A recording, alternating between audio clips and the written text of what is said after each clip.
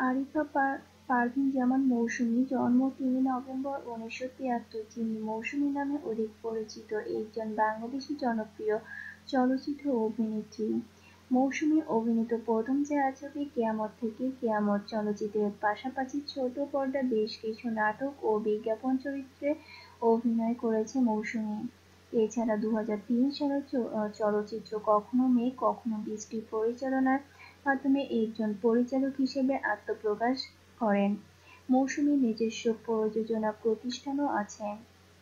চলচ্চিত্র অভিনয়ের জন্য তিনি জাতীয় চলচ্চিত্র পুরস্কার পান তিনবার এবং বাসেস পুরস্কার পান পাঁচবার এবং মেরিট প্রথম আলো পুরস্কার পায় তিনবার।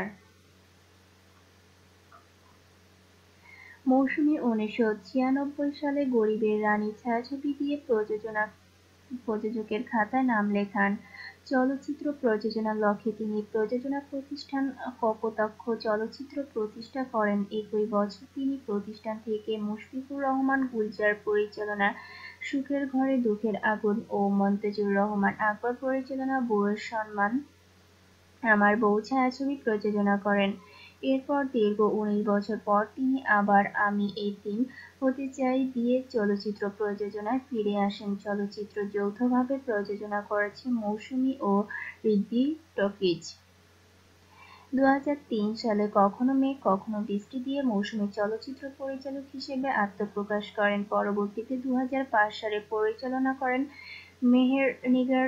দুই হাজার ষোলো সালে শূন্য হৃদয় নামে একটি টেলিফিল্ম পরিচালনা করেন। মৌসুমী দু সালে জাহিদ হোসেন পরিচালিত মাতৃত্ব ছায়াছবিতে একটি গানে কণ্ঠ দেন। দু হাজার সাত সালে এথন বাবুর সঙ্গে দু হাজার চোদ্দ সালে মোহাম্মদ মুস্তফা কামাল রাজ পরিচালিত তারকাটা ছায়াছবিতে কি যে সুন্দর লাগে তুমি হিনা গানে কণ্ঠ দেন। এছাড়া মোহাম্মদ মুস্তফা কামাল রাজের ছায়াছবি চলচ্চিত্রে মন যা বলে বলুক গানে গীত গীত রচনা করেছেন।